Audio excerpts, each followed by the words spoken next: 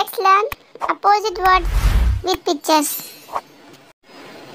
Lazy, active. Happy, sad.